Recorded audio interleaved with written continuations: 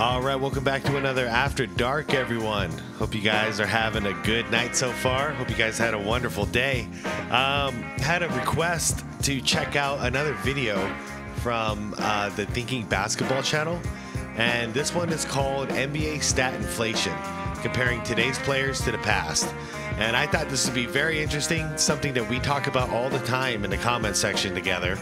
Um, something that I, I don't think younger people and players really appreciate the difference between what was going on back in the, the 80s, 90s, especially 90s and, and the 2000s, up to about 20, mm, about 2008, 2009.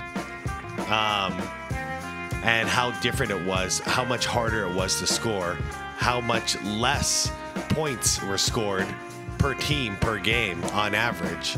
And why, when somebody averages 30 points a game nowadays, it doesn't nearly mean the same thing that it meant back in the day. Um, hopefully, you feel me on that one.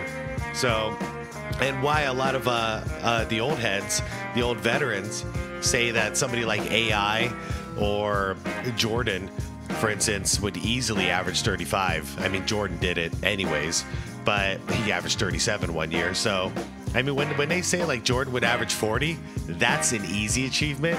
You say 45, I think that's about realistic. That's if you wanted to, though. But you know, Jordan wanted to win first. So win first, and then whatever he scores, he scores. But if he wanted to, easy 45, 45 per game. And you think I'm crazy now? Don't click away. Let's watch the video because I bet by the, by the time we, we watch this, you're going to believe me. Um, anyways, channel's Thinking Basketball. I'm going to link the original video down below in the description. Uh, so if you want to check it out uh, without my commentary, go right ahead. Um, fantastic basketball channel. Highly recommend you guys check it out. Um, and without further ado, please leave a like to this video. Um, it helps pump it out. That way we can push it out to the, to the new gen. And yeah, nothing else to say for the intro. Let's do this. Did you know that Luka Doncic is the first rookie in over 50 years to average 20 points, 7 rebounds, and 5 assists per game? Whoa, Oscar- ho- hold on a second. Oh, this video is five years old, so it got even worse from here. This is going to be cool. Robertson last did it back in 1961.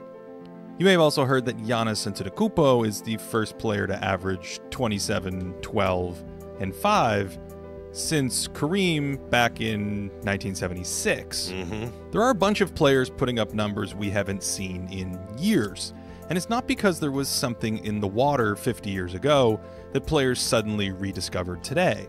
Instead, this boom in counting stats is a direct byproduct of changes in the rules and thus strategy, and those changes have influenced pace, efficiency, and volume.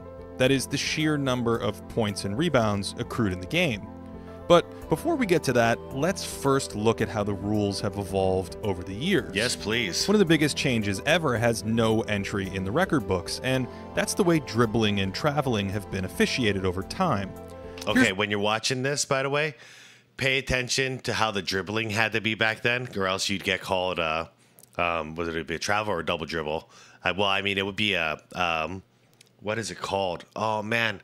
Um, palming, uh, palming the ball violation. So you had to go flat, like pat, pat, pat, pat, up and down, up and down. You couldn't do this, put your hand under the ball stuff and cradle it. That would be an instant violation, and it's all over basketball now. Here's what Bob Cousy, Look at the best dribble. dribbler of the 1950s, See that? looked like. Palm strictly facing down, Yep. no supination or turning of the wrist. And this wasn't because players didn't practice dribbling. They simply weren't allowed to control the ball in midair by turning their wrists. There's limited film, but Elgin Baylor in the early 1960s was one of the first players to cross over like this, stretching the boundaries of legally palming the ball, turning it slightly in midair during his crossover. By the late 60s and early 70s, average ball handlers were rotating their wrists slightly and increasing contact time with the basketball. By the 1980s, players were subtly expanding the boundaries of legality. Isiah Thomas was one of the first guards to severely flex his wrist to control the rock, well in the air right there, and he even rotated the ball mid dribble. This was once illegal. By the mid 1990s, advanced handlers were nearly pausing their dribble and turning their wrist completely as they guided the ball back to the floor. Yeah, Allen Iverson was the one who kind of blew this one up wide open with that because they would call him for palming sometimes and sometimes not. So the NBA had to kind of start making a decision. How are we going to judge this moving forward? This mid dribble suspension from palming or cupping the basketball allows for superior change of direction Look at this and penetration that wasn't possible in prior decades. Today, players can complete Mm-hmm. Yeah, now now today, complete hand under the ball and they allow it. Hand under the ball. turn their wrist over while pausing and then restarting their dribble. This is almost never a violation and allows for hesitation and upfakes, as well as superior ball control. And then there's traveling. Oh, Here's a play from the 1970 season called a travel. I mean, really, that's one step, step. at most, and no one even bats an eyelash that it Yeah, I've gotten uh, some pushback in comments um, because I have said it many times. Very often, back in the day, you take if you took just two steps, very legal. You got called for a travel. Look at this. Eh, This is even worse back then. One step and you got called for a travel. And that's ridiculous. You're supposed to get it's on the third step you get called for the travel. So one, two, up you know but if you go one two three and then you lift off the third that's a travel i can't wait till he shows what's going on these days i count five sometimes It was called a walk. Here's the earliest Euro step I've been able to find, and it was swiftly whistled a violation. Oh. It's been permitted for at least 15 years, One, but back two. then, large strides and hops weren't allowed. yeah that was that was a two step that see that should be legal that's two steps you should be able to take your steps however you want but nope not back then that's two points he just lost right there Flamboyant refereeing was, though. Scottie Pippen was the first prominent star to stretch what we now know as the gather step. Broadcasters immediately called for a mm. blatant walk here, but proponents of the gather might argue oh yeah okay he One. collected right now and thus only took two steps. No, I'm sorry. I love the Bulls. He traveled there. That one, they, they, they did miss that. Back then, according to the rules back then. According to today's rules, that's commonplace. By the 2000s, this became more normal, and three step plays are now Two, fairly common. three. it's so ridiculous. This became more Hold on. normal, and three step Okay. plays All right. are One, now two, fairly three. common. Yeah. Other This formal rule changes have made scoring easier too, such as freedom of movement rules that prohibited off ball contact like this and outlawed hand checking above the free throw line. And of course, the modern offense's biggest edge is the three point shot, which has stretched defenses thin, unclogged driving lanes, and, you know, counts for more points. Yep. Now, By the it- way, a fun fact a lot of you might not know the uh, three point shot was created in 1978 or 1979. One of those. So before that, talk about stat inflation. yeah, everything was a two pointer. Two points or free throws. One point or two point. No threes. Doesn't matter how, if you made a shot from half court, two points. If you have thoughts on all these rule changes, or you just love talking hoops, check out the Hardwood Amino app. They've been kind enough to sponsor today's video, and they have over 100,000 hardcore fans on the app talking all things NBA. Yeah, that's cool. As you can see, it's very visually engaging. They always have topic posts featured, the latest Twitter happenings, and even live polls. Uh, I'll say Jokic, but that needs a video. My favorite section is the app's historical team wikis. These are dives into teams from the past. They're really cool. Download it from the App Store if you don't already have it. Check it out. There are topics on everything, like, say, the best stats That's it's really cool, but just not my jam. But let's see if I can see where the promo scoring is. easier or harder. For one thing, there were Okay, no promo, but that's just because it's a straight up sponsor. But that's cool, man. Thinking basketball, that's cool. You got a promo there. All right, back to it. way more possessions to rack up numbers in the past, with pace peaking at a ludicrous 130 possessions per game back in 1962 before downshifting into the more under control pace that's closer to today's game. Illegal defense rules were put in right here, and this led to the so called isolation era, gradually slowing the game down to seek out one on one advantages. Man, we've talked about it in the comments before too, and we all agree that's one thing we don't miss about back then was the illegal defense. Man, so many illegal defense violations, and it slowed the game down so much. Meant that a major counting stat, like rebounds, dropped as the game slowed down because there were simply fewer shots to rebound. Uh huh. Over 70 per game at its apex compared to just over 40 at its low point. Wow, that does explain a little bit of the uh, Wilt Chamberlain and uh, um, uh, Bill Russell stats, doesn't it? That's interesting. so Kareem had it rough because because when, when when Kareem was introduced, the game was slowing down. So his stats all of a sudden, wow, his stats just got a little more impressive to me. Not that they weren't before, but that just that just changed it a little bit for me. That's cool. what offensive efficiency looks like over the years. The expansion of all those rules we looked at earlier made it easier to pressure defenses as an individual, replacing harmless passing that led to low percentage jumpers with dangerous penetration and kickouts. Pace played a role too. Teams were hunting for more efficient shots into the late 80s before the physical grind of iso ball left teams stuck in the mud in the so-called dead ball era. We can see this most clearly in how low scoring games were as pace and efficiency cratered during the dead ball era. Teams averaged just 95 points per game during this period, as it was simply harder to generate points then, even for the stars.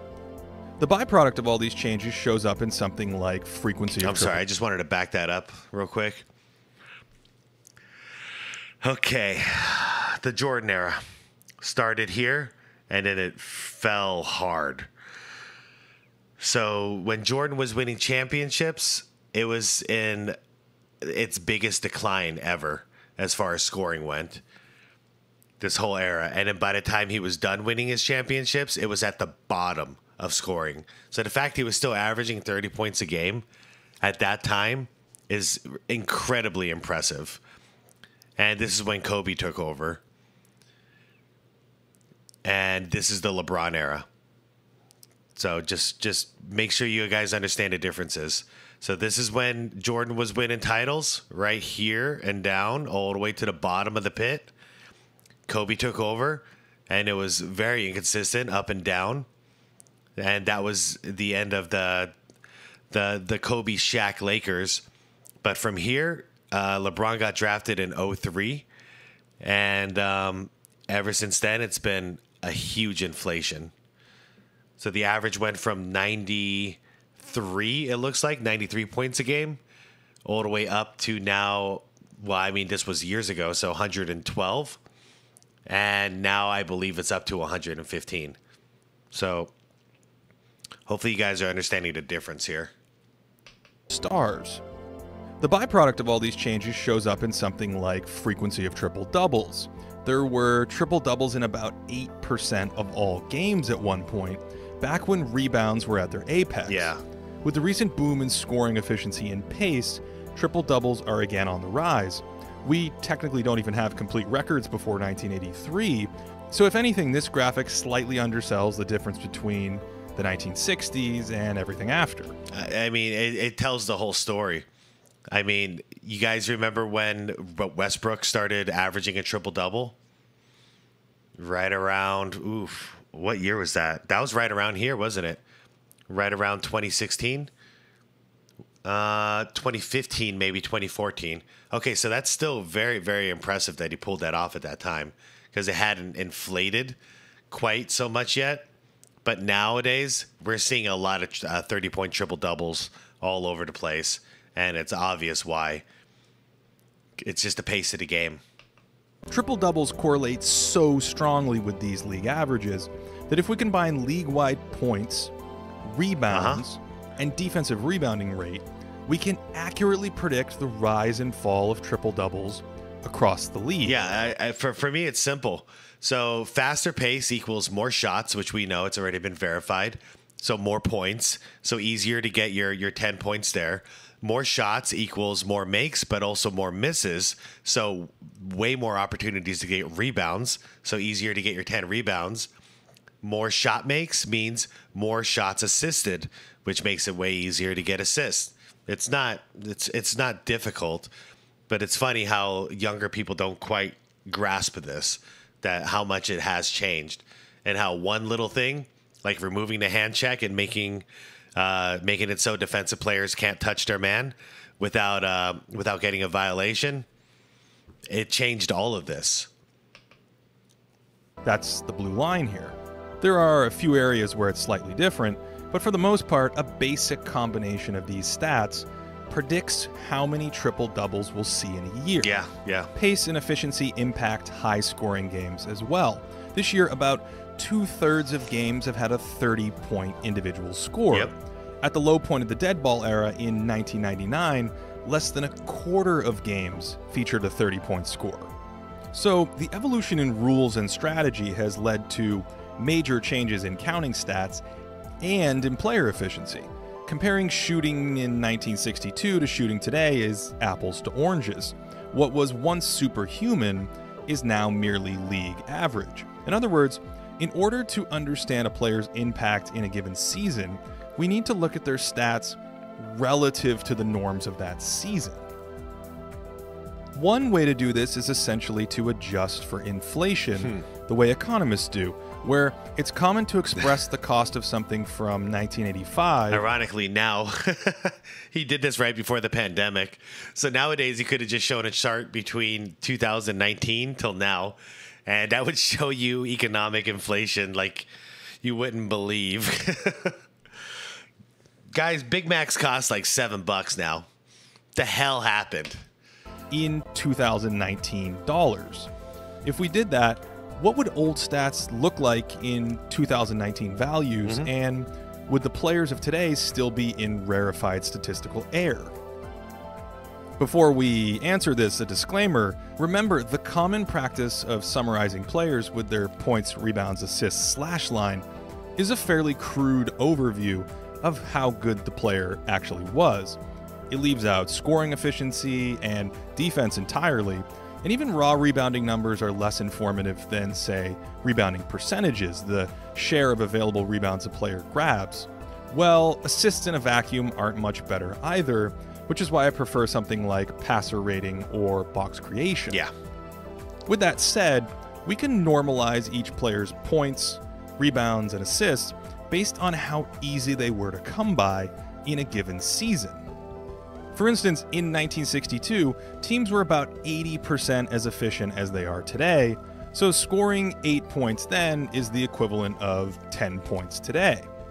We might also want to account for pace, given how some stars in the past used to play 120 possessions in a game, and a typical star today plays about 75.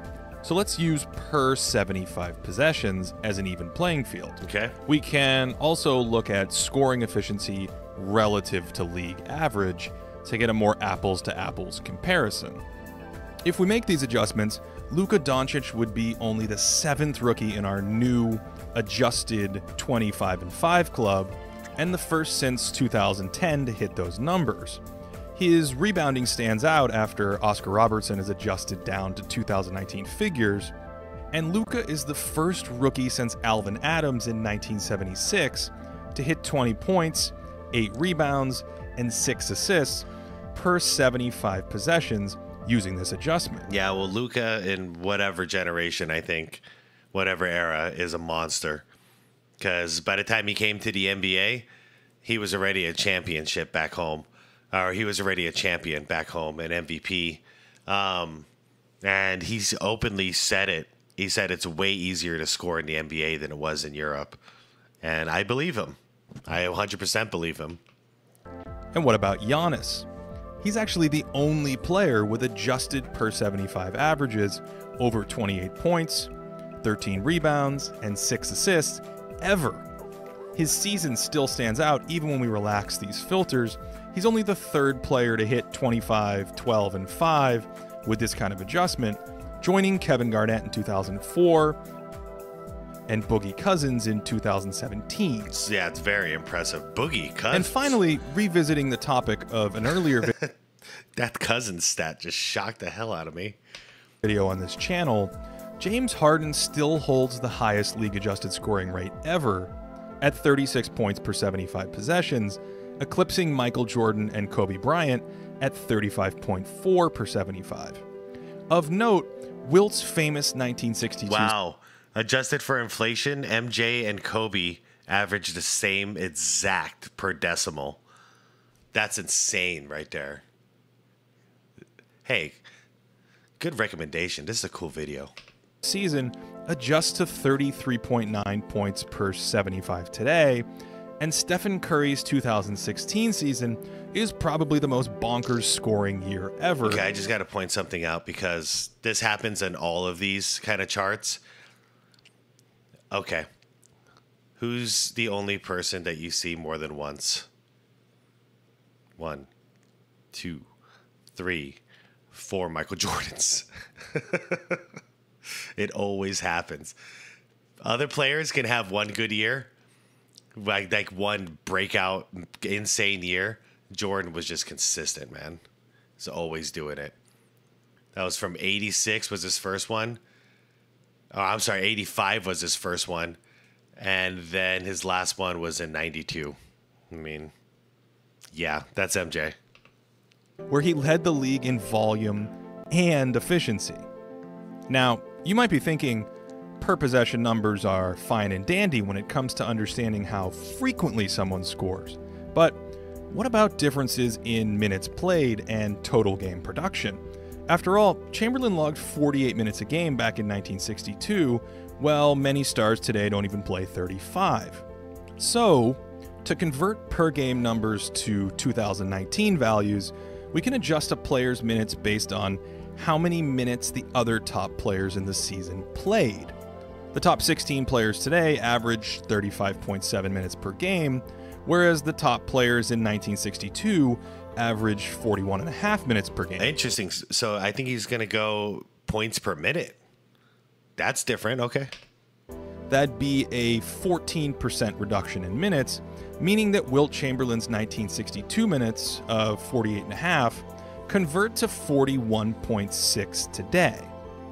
We can then take his per 75 adjusted stats, assume he plays at today's league average pace of 100 possessions a game, and convert his 1962 stat line into 2019 values 39 points, 13 rebounds, and 2 assists per night. That's still the best league adjusted per game scoring output ever, It's crazy. topping his 1963 season, Harden, MJ, and Kobe.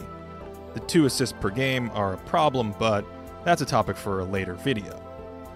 Even these aren't perfect adjustments because there are no perfect adjustments to compare stats across seasons. Man, there are some Kobe haters out there.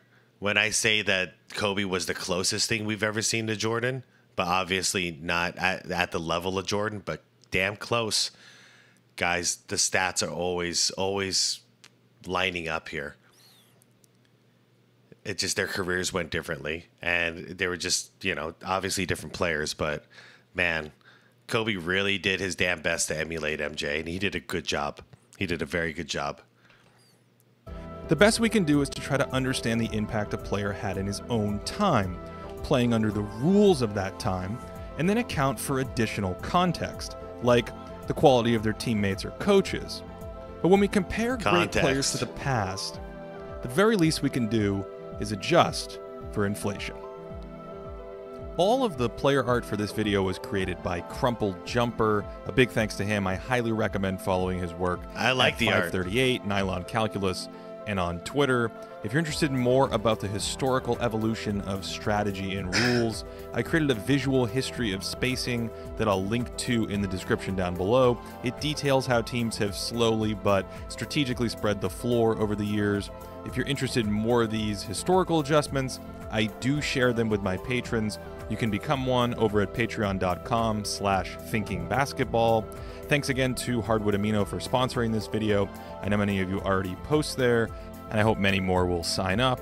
And as always, I hope you're having a great day. Having a wonderful day, man. great video. Told you guys that this this channel is is really really cool, really cool. The the amount of grind he had he had to do in order to to come up with those numbers, I can't even I can't even fathom.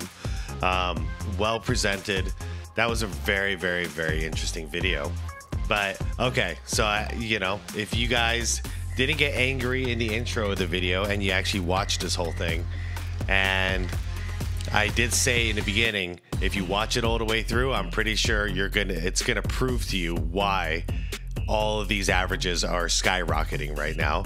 And it seems like any average player can can pull these numbers at least once in a while. The great players right now can do this on a consistent basis.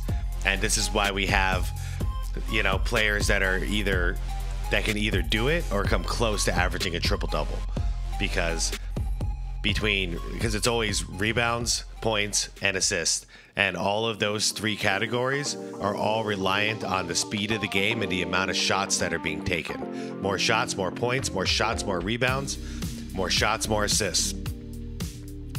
Basic, basic stuff.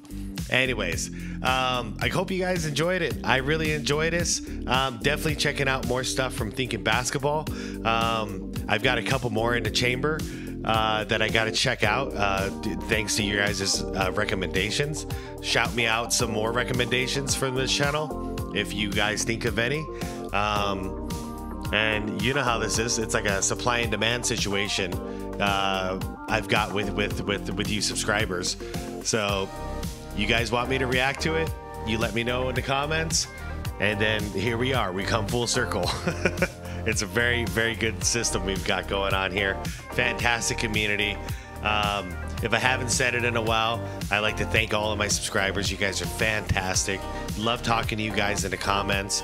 Um, it was not very long ago that I had, you know, just a, just two or three subscribers.